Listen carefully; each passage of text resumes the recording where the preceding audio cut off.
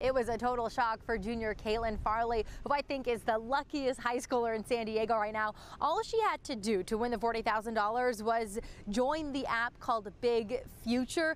Now here's the, her reaction moments after winning that scholarship.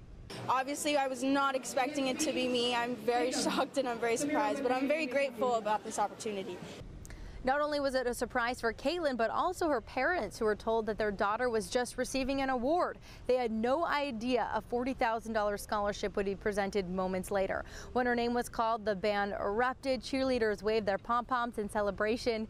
Now she is one of two nationwide $40,000 scholarship winners just for the month of August.